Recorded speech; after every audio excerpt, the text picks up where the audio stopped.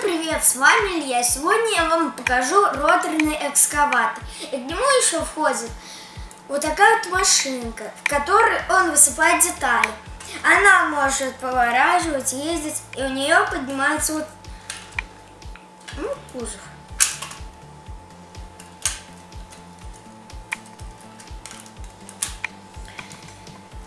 Я, а сейчас я вам покажу роторный экскаватор.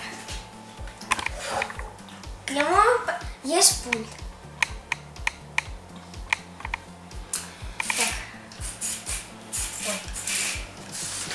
Так. На... Если поставить на один, то он движется. У него еще крутятся вот эти ковши, которые высыпают детали сюда, и он их везет, ну, к этому, к машине, машина отвозит детали на склад или что. Он поворачивается еще влево и вправо, и у него еще крутятся эти ковши.